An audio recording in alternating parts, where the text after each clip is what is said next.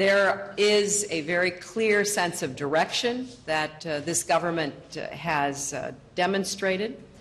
And of course, we have to continue to provide the support that Liberia so richly deserves. Local law enforcement needs the training and resources to do its job. And I am proud that the United States will be expanding its commitment to work with the government of Liberia, the United Nations, and other partners to continue and complete the development of an effective, democratic, inclusive police force here in Liberia. Then uh, they had a democratically elected president in Liberia in person of um, Madame Johnson Sirleaf. And Madame Johnson Sirleaf then wrote a letter that want, she wanted uh, Charles Taylor. And I personally took that letter to him in Calabar, where he was. I said, look, here is your president requesting for you to come back. Um, you think about it. We will provide every assistance to get you back. And he said, let me think about it. Then, by, by the time he could come back to me, he had left Calabar where he was because he was really not under detention. Mm-hmm. Obasanjo the former president of Nigeria, who I must admit, I would still want to consider a friend if he chooses to come before the world and tell the truth. Obasanjo knew that I was traveling, where I was going to, and when. So it's not true that he was misled? No. Because that's the argument that was made that he was misled at the time. But misled he was taken by he was taken by soldiers or rather um, security officers who uh, was guarding him at the time, and all of a sudden they left him along the road. No, no, no, no, no, no, no. Yeah. That was not that was not true. Now he then decided to live on his own, and um, he left and decided to go northwards because if he wanted to cross the border, Calabar, from Calabar to the border with Cameroon will not have taken him more than 45 minutes, less than an hour. Um, but he went up towards Lake Chad, and I was in fact out of the country. And um, the Americans were furious. It was the Americans who put pressure on uh, President Johnson Sirleaf to request for and to break even their own uh, assurance that they gave to us and to request or to put pressure on uh, the president of Liberia to request for uh, Charles Taylor. And Charles Taylor will not allow us to actually either deliver him to uh, uh, Liberia or to anywhere else. So he decided to move on his own.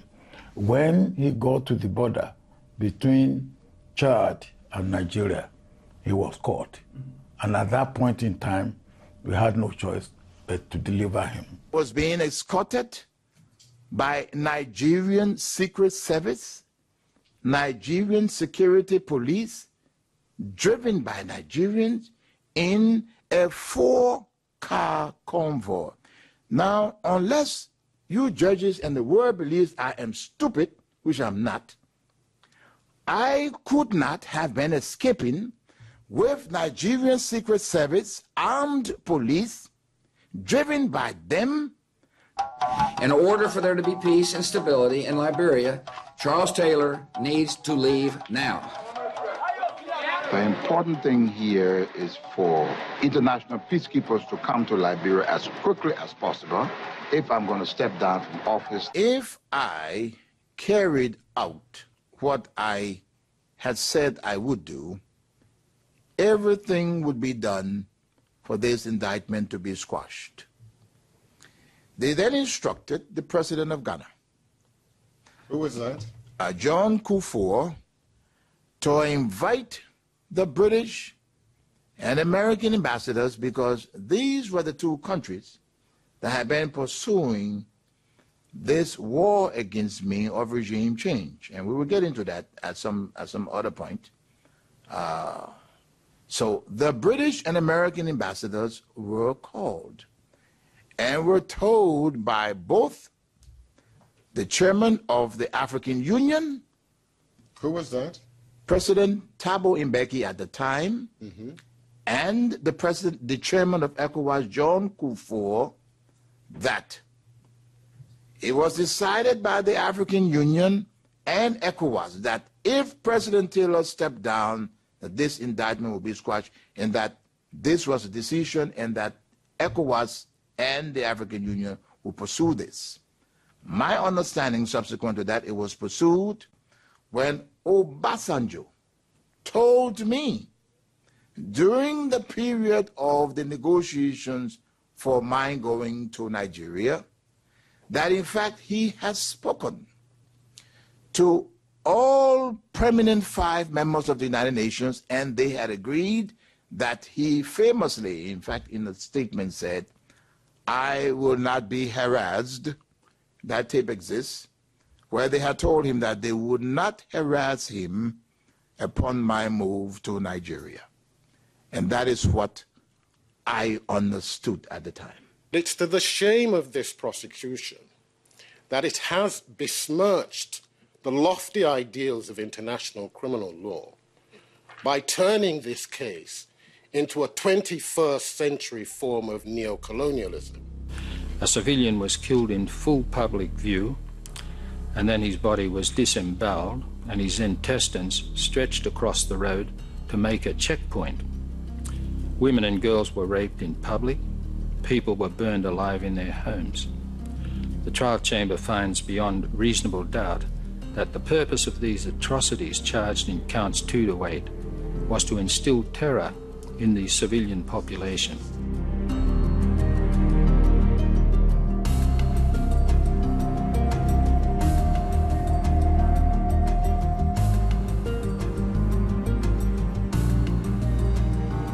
I am not guilty of all of these charges, not even a minute part of these charges.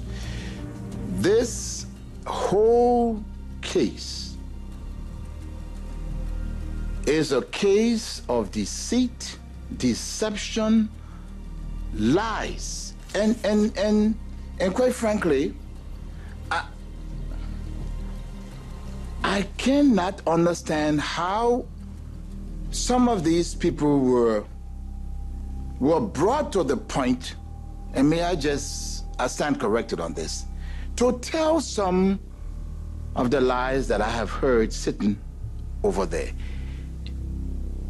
is, I guess, what you lawyer, call, you, you, know, what you lawyers call incredulous. It, it's it's impossible. I, I whether I lived a hundred years, it's impossible what I have heard here, where humans can come and in an organized fashion lie, lie and lie and lie. I, I, I, I just don't understand it. There is no way I am not guilty of any of these. Maybe the lesson is if you're a sitting leader and the international community wants to get rid of you, either you get murdered like Colonel Gaddafi or you hang on until the bitter end. I'm not so sure that's the signal this court ought to be transmitting at this particular historical juncture. I welcome this decision, but only if it means that that mode of liability will be applied equally across the board, whether you are the President of the United States or the President of Liberia. Uh, the, the, court had the right to do what they, they, they did, but the way we did it. It made uh, other, other, other things difficult. For instance, when uh, we were trying to convince Kony to surrender to the Ugandan authorities.